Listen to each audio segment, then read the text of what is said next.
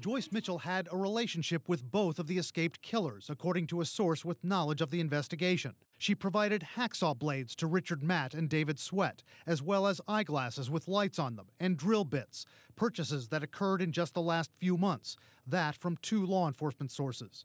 A former prison warden tells us Mitchell, who worked in the prison, would probably have had to go through metal detectors to get to work, but likely would not have been searched.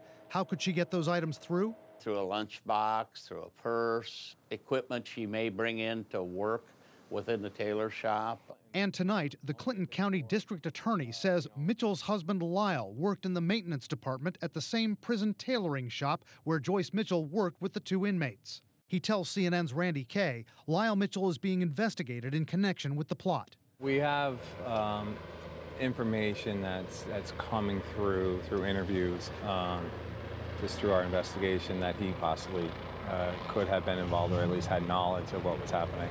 Joyce Mitchell had previously been the subject of a complaint inside the Clinton Correctional Facility for a relationship with one of the two escaped inmates, but it's not clear which inmate she favored, according to a source. Mitchell told police inmate Richard Matt had made her feel special. Her son and daughter in law deny she was involved in the escape and say she wouldn't have had an affair. Her former brother in law told us Joyce Mitchell, nicknamed Tilly, cheated on her former husband and sought out danger. She likes the wild side of people, I guess. She's looking, always looking for the ones that are, you know, a little bit troubled.